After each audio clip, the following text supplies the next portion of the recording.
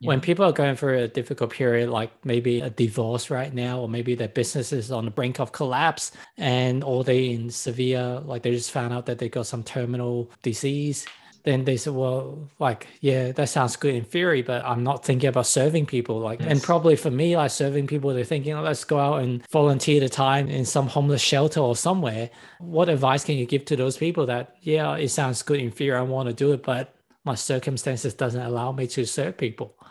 Yes, yes, I totally understand what you're saying. Yes, and perhaps it was a little bit uh, broad statement, say it applies to everyone. So for those people, I'd say, um, yeah, my heart goes out to you. Sometimes it's very hard. And I would go back to point number one, which is do whatever you can to make it through and make sure that you're not judging yourself through it and actually somehow trusting every day that life will get better. Because I do believe that we are powerful creators and that as long as there's that flame of hope and that practical sense of just getting through day after day, if you will find the resources, you will be able to heal and you will be able to make sense of the pain or the struggles and challenges you're going through. I mean, that's speaking from personal experiences. Sometimes I didn't have the answer, but it was just, I'm just going to keep going. I'm just going to be as kind as I can through this. And eventually the clouds parted. And it seems to be a theme that I, I talk to a lot of people and they come out these phases. So I'd say in a really dire situation, sometimes it's about just making it through.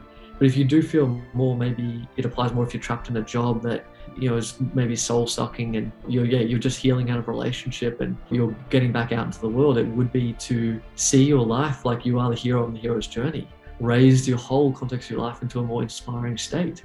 The way I do this is I connect to people throughout history that lived through some of the most ridiculous challenges imaginable and seeing oh they persevered and they did so for love. They did so for goodness for virtues to have an impact greater than themselves. And it's not that ego thing of i've got to conquer the world and become uh, you know not in that sense but just for its own sake to be a vehicle of inspiration and love for its own sake. And if you can know that that's possible for you and you deserve to think about your life in that context you will start manifesting things into your life that start nudging you on what you can do, whether that is just volunteering on a weekend or whether that's a new business idea that you slowly will start taking baby steps to creating. And as soon as you're on that path of, of greater meaning, you're seeing your life as a hero and hero's journey, it really helps alleviate your focus on your pain and starts gearing your life towards something more uh, creative and divine, inspiring. I found that on my darkest days, that a sense that I'm living for that really pulled me through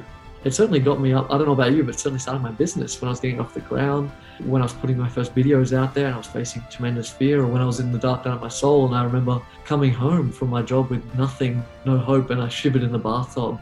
And I didn't even have the energy to get out of the bath, so the water just drained itself all the way to the bottom. And I felt so existentially alone after the awakening. I felt like I couldn't even turn to another human for help because I was like, do these people, I'm talking to nothing here. I was like, I've really felt so alone, hopeless and yet something about connecting to this inspiring state that I will make it through, that my life has meaning, that there is a purpose, and I am right about that. And focusing on that as a really big picture way that you're going to live your life really pulls you through.